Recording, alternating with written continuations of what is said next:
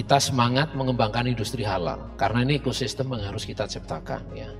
Bagaimana kalau tidak kita ciptakan industri halal ya artinya uh, pembiayaan-pembiayaan yang bersifat syariah pun akan sedikit karena industrinya belum mendapatkan certified ataupun belum mendapatkan label halal. Nah ini semua kan merupakan ekosistem yang akan kita ciptakan bersama-sama agar tadi ekonomi syariah menjadi dukungan yang besar terhadap ekonomi kita. Ya. Ini kan kita mau bangun kantor di Jawa Timur, ini mestinya center untuk knowledge pengembangan knowledge perbankan baik konvensional syariah itu di daerah timur mestinya di Jawa Timur. Nggak mungkin nanti orang daerah timur suruh ke Jakarta terlalu jauh. Ya, ya cukup di Jawa Timur. Ya kita menstimulit ya di antaranya melalui pendirian Bank Wakaf Mikro. Ya di Jawa Timur ini kalau nggak salah udah ada 19 ya.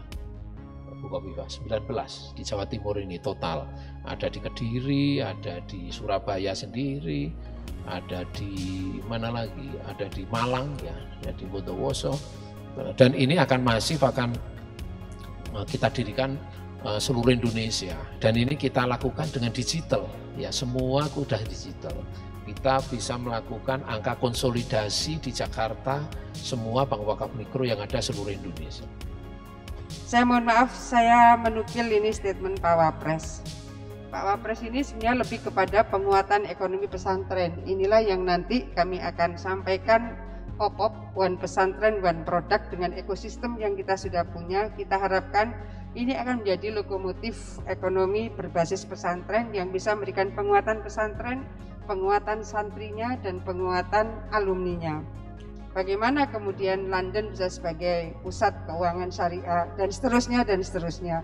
Kawasan industri halal yang ada di Safe and Lock di Sidoarjo, kami berharap ini akan menjadi pintu masuk dari para pelaku IKM yang bisa mendapatkan ruang produksi dan uh, fasilitas yang lebih komprehensif. Saya yakin ini karena lebih banyak ditopang oleh masyarakat kita yang memang secara turun temurun itu uh, itu tradisinya adalah tradisi Islam. Nah, kita harapkan bukan hanya sekedar itu, tetapi kalau kita mau meningkat pesat, ya aturan, anggaran dan sebagainya itu harus dicurahkan di sektor ini. Kalau kita bicara tentang uh, tradisi keislaman, itu juga sudah luar biasa. Tinggal nyentuh sedikit saja. Bayangkan orang Thailand, pemerintah Thailand pasti harus bekerja 50 kali lebih lebih hebat dibandingkan pemerintah Indonesia untuk mengkondisikan sebagai wisata halal. Karena di Jawa Timur, di Jawa Timur, di Indonesia secara keseluruhan, ya sebenarnya sudah banyak halalnya gitu bangsa Indonesia ini dengan aset sekitar 240 triliun merupakan ranking ketujuh di perbankan nasional. Jadi Pak Wimbo bilang bank ini sudah menjadi bank sistemik sekarang. Dan tentunya ini eh, banyak harapan, banyak stakeholder menaruh harapan bank ini bisa memberikan kontribusi yang optimal, terutama dari bisnis keuangan syariah dan juga untuk mendukung pertumbuhan industri halal. Nah, visi kami tentunya kami ingin eh, menjadi salah satu eh, pemain global jadi salah satu top masuk ke dalam top 10 perbankan syariah global. Berdasarkan apa? Berdasarkan market kapitalisasi.